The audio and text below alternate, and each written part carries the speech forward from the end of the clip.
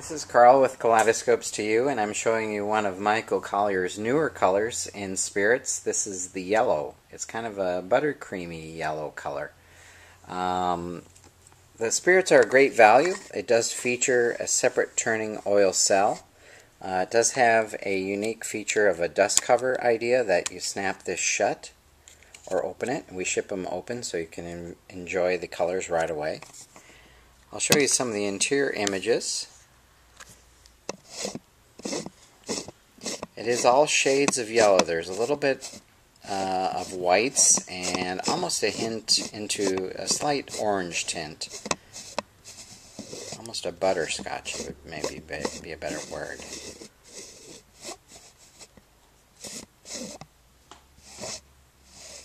These spirits are really a great value.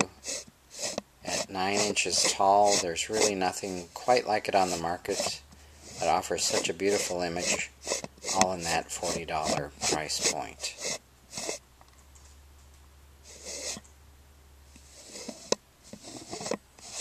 This is Michael Collier's Spirit in Yellow.